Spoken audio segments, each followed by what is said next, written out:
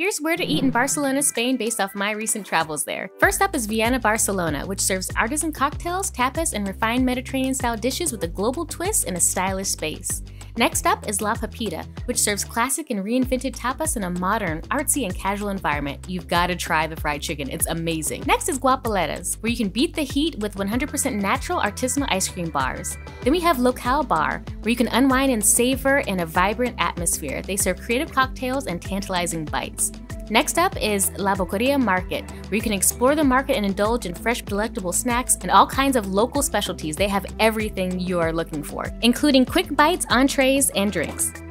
Finally, the best meal is the one you cook yourself. Join an interactive cooking class in Barcelona, Spain. Check out my YouTube video for the full experience. If you found this video helpful, like it, share it with a friend, and follow for more travel tips and inspiration.